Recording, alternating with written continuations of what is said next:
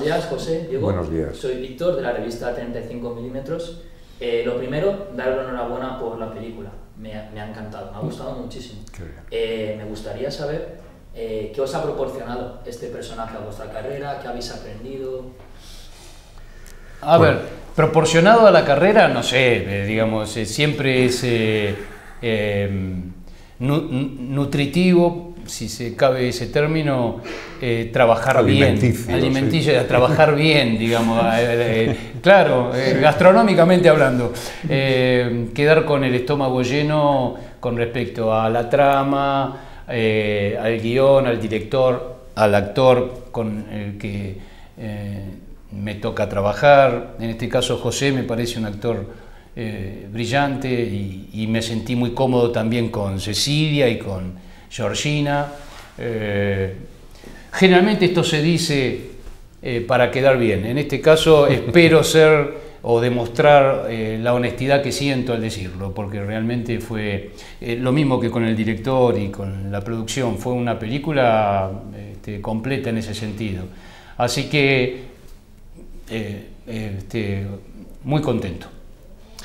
Bueno, pues aparte de lo que ha dicho Diego, que, comparto absolutamente, eh, la, satisfacción de- de traer algo diferente a la- al panorama, a, a la industria, ¿no? el, el traer un thriller que es diferente, es un thriller eh, psicológico en el que nuestras armas son la palabra y la inteligencia, no hay sangre, hay vino, no hay eh, persecuciones en coche, pero sí que hay mucha ironía, hay mucho sentido del humor y hay sobre todo eso, una recuperación de este, de este cine de, de género de suspense de, de los tiempos de Agatha Christie y de Hitchcock que, que invitan al espectador a, a- a involucrarse en la película y a resolver este rompecabezas que, que- que David Márquez plantea. ¿no? Entonces, la satisfacción es traer un- a- algo nuevo, algo que el espectador eh, le permita estar atento a, a la pantalla y con una sonrisa, además, aunque hablemos de crímenes. Y por curiosidad, cuando leísteis por primera vez el guion, eh, ¿queríais hacer el personaje que interpretáis o os gustó más el, el, el contrario? Por ejemplo, a ti el de J y a ti el de Leo. ¿O, os- o estabais ya cómodos de decir, este es el que yo quiero, me gustaría hacer? Yo sabes lo que pasa, que yo admiraba tanto a Diego antes de leerlo que cuando lo leía y leía las frases de Leo, digo, esto lo va a hacer Diego, digo, esto lo va a hacer como Dios, claro, o sea, que no me planteé siquiera la No, posibilidad claro. de pasarme al otro lado. Dije, te ha tocado aquí este, te ha tocado el niño, el pobre niño rico, defiéndelo y... Sí, sí. Y No, me- a mí me pasó lo mismo. Tan, tan enfocado en el personaje y tenía tanto trabajo por hacer con ese personaje que, que no, no, no pensé en, en- en- en hacer el otro, ni mucho menos. No, no. Es algo que podríamos hacer si se llevase a teatro, A teatro. que nos lo han preguntado en algún momento y decíamos, ¿y estaría bien de verdad una semana hacer Leo y el otro J y cambiar personajes? Sería como ejercicio interesante. Sí, sí. Eh, el director me ha dicho que hay cinco películas que él es el, tanto él como Rafael, son las que utilizaron para escribir el guion, que eran eh, Las Diabólicas, La Soga, La Trampa de la Muerte, Misery y La Y Huella. la huella. Intuyo que eh, las habías visto ya muchas veces. ¿Las habéis revisto para plantear el personaje? ¿O la habéis, de dónde ha sacado la fuerza del personaje? ¿Dónde la habéis sacado? Eh, En mi caso no, en mi caso eh, tengo mucho cine visto y a veces los títulos se me equivocan uno a otro. eh, eh, sí me vienen imágenes cinematográficas y, y el, y el perfume del género que, que vamos a abordar, pero no, no, no vi específicamente para este, empaparme de eso. Yo sí revisioné alguna, la, la huella me la volví a ver, pero aparte porque me, me- me apasiona, me vi la soga otra vez también, que La soga, de Hitchcock. sí, de Hitchcock, que era en un Claro, plano la claro, película, ¿te claro, acuerdas? Claro, sí, sí, esa la vi, sí, sí.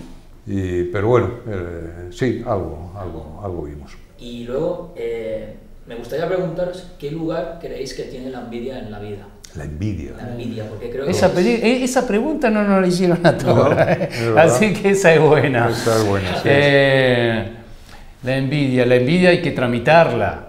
Eh, es como los celos, como el resentimiento, son sentimientos humanos que tiran, son negativos eh, y hay que tramitarlas, hay que ser consciente de que uno las tiene y, y, y no, y digamos, este, al, al hacerlas conscientes, ahí me pongo en psiquiatra, al hacerlas conscientes eh, se ablandan, se ablandan porque tomas perspectiva y la ves. eh, pero creo que son humanas y, y tienden a obstaculizar cualquier eh, actividad que uno realice. Sí, sí, está, es inherente al ser humano la envidia, ¿no? El, el secreto está en cómo sepas eh, agarrar a ese, y frenar a ese caballo del bocado que es la envidia que te puede llevar, no te puede llevar, siempre te lleva a malas situaciones, está claro.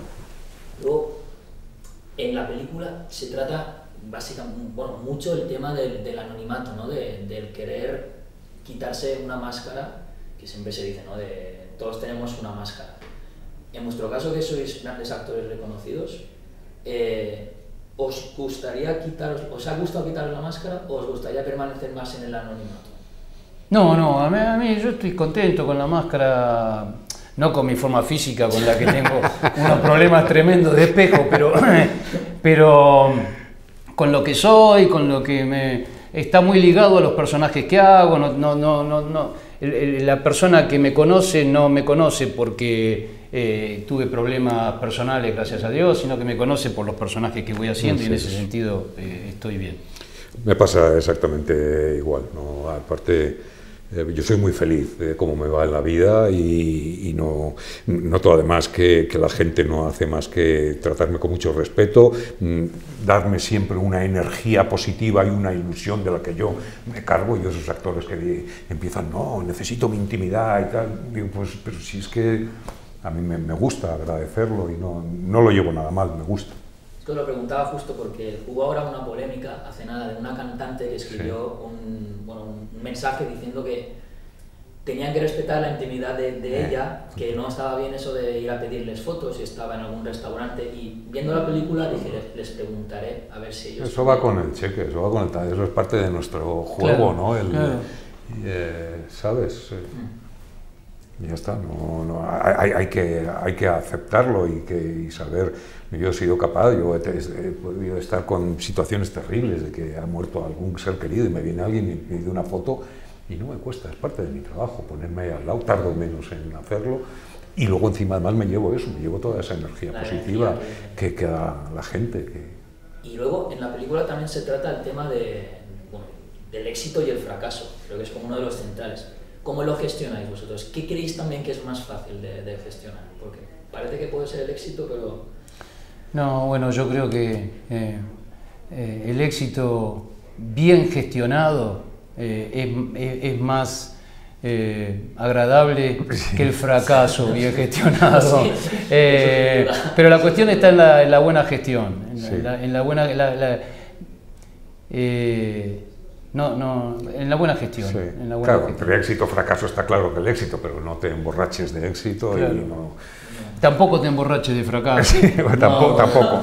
Eh, en eso en los deportistas son, si vos lees las declaraciones de los deportistas muy exitosos, los futbolistas muy exitosos, eh, a, mí me ayudan eh, generalmente, ¿viste? En, cómo se plantan, en cómo viven cada partido, cómo tratan cada partido en el aquí y ahora y tratan de hacer se olvidan de lo anterior y lo único que importa es lo que están haciendo y la gana con la que encaran lo que van a hacer. Ahora que lo has dicho, esta no la tenía pensada, pero el aquí y el ahora es, se dice mucho del actor de estar en, presente en el aquí y el ahora. ¿Vosotros como actores eh, sois de este método del aquí y el ahora o cómo, cómo os empapáis de las energías de los personajes? No sé si si la he dicho bien. No te he entendido bien. ¿Cuál de la aquí y el ahora es de cuando estás haciendo una escena tienes que estar presente aquí, y ahora. Sí, bueno, sí, aquí ahora, pero no le tapes la luz al compañero, ni te toques, o sea, trabajar con la técnica, pero para eso llevamos tiempo trabajando, ¿no? sí, sí, sí. Aquí sí, ahora hay actores que están, no, es que me he olvidado de todo. No, pues, tío, no te olvides porque me has tapado el claro, coño. Claro, eh, por, eso, por eso lo preguntaba, por estar atento. Eso, vete a hacer teatro, haz teatro. Y entonces sí, entonces sí, es vale, aquí y el ahora, pues una ceremonia en vivo que está saliendo y da igual, pero en cine hay una técnica que hay que respetar. Por eso lo he preguntado, por, eso justo lo he preguntado. Y bueno, ya la, la, última, porque ya se me acabará el tiempo, reiteraros la enhorabuena, que os vaya muy bien y un saludo para los lectores de la revista 35 milímetros, animarles a ir a ver vuestro nuevo proyecto. A la revista 35 milímetros eh, los animo a que vengan a ver Puntos Suspensivos, una película... Eh, muy, muy buena. Diferente y os va a entretener.